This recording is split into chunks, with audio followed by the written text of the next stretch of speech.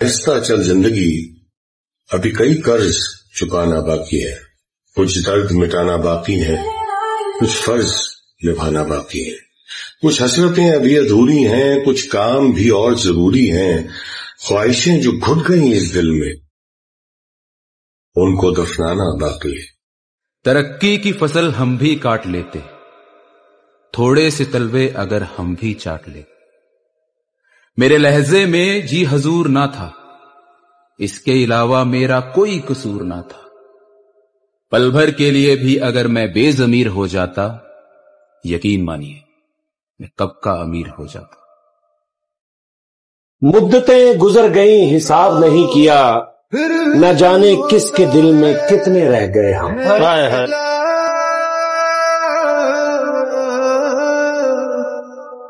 تمہاری محنت کوئی نہیں دیکھے گا۔ پر تمہیں کوسنے سب آ جائیں گے۔ کچھ بڑھیا نہیں کر پائے تو تمہاری غلطیاں نکالی جائیں گی۔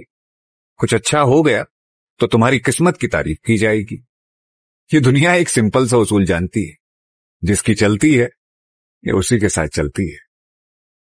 شب برات کو نہ رات چڑھتے ہی اللہ پہلے آسمان پر جو اس کی شان کے لائق ہے، نزول جلال فرماتا ہے اور پہلا جملہ یہ فرماتا ہے، اے کوئی معافی مانگنے والا۔ اللہ کرے آپ کو سمجھ آئے۔ یعنی معافی دینے والا کہہ رہا ہے چلو آؤ۔ آؤ ادھر آؤ ذرا معافی مانگو میں معاف کرنے آیا ہوں۔ مانگو معافی ہے کوئی معافی مانگنے والا؟ معاف کر دیں گے۔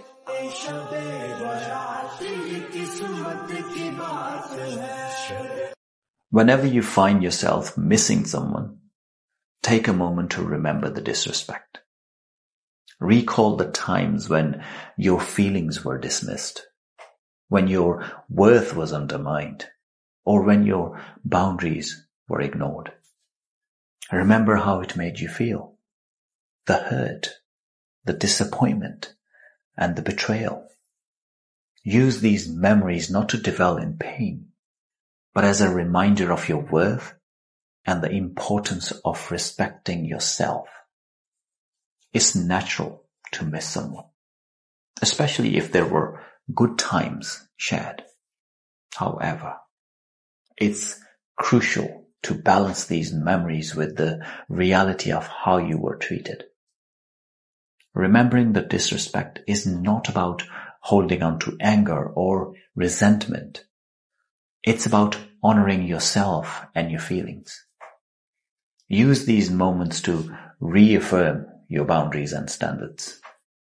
Remind yourself that you deserve to be treated with respect, kindness, and understanding. Remember, in every relationship, respect is non-negotiable.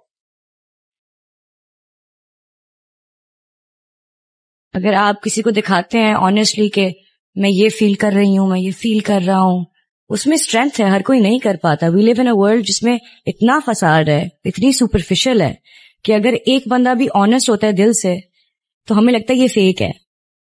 اس کو کچھ غلط کچھ غلط کہہ رہا ہے یا ہاں اندر سے گیم گیم ہوگی اس کی کوئی کوئی سین ہے اس کا۔ دیٹس دا ورلڈ وی لیو ان سجدہ شکر کرنا۔ جب بھی کوئی نعمت بڑی ملے، سجدہ شکر کریں۔ ایون جب ہم نے ہیٹر کے سامنے بیٹھ گئے اور ہمارے ہاتھ گرم ہو گئے، یا جو انہیں کوئی پانی کا سیپ لے لیا، یا جب ہم نے کھانا کا نوارا لیا اور اٹس ٹیسٹی ہمیں اللہ کی بلیسنگ کا اندازہ ہوگا۔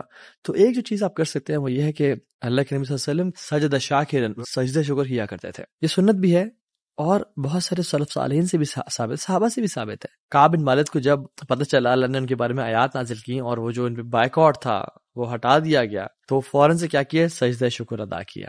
علبی نبی طالب جب وہ خوارج سے لڑ رہے تھے رضی اللہ عنہ اور انہوں نے کارپسز اور ڈیڈ باڈیز میں وہ والی باڈی اور وہ نشانات دیکھے جو اللہ جو اللہ کے نبی نے ان کو بتائے تھے کہ اگر تم ان ڈیڈ باڈیز میں فلاں فلاں نشان دیکھ لو تو تم حق پہ ہوگے، نہروان کی جنگ تھی۔ اس میں جب انہوں نے دیکھا کہ وہ سائنس پائے گئے الحمد للہ خوارج کے خلاف لڑ رہے ہیں تو سجدہ شاہ کرن سجدہ شکر ادا کیا۔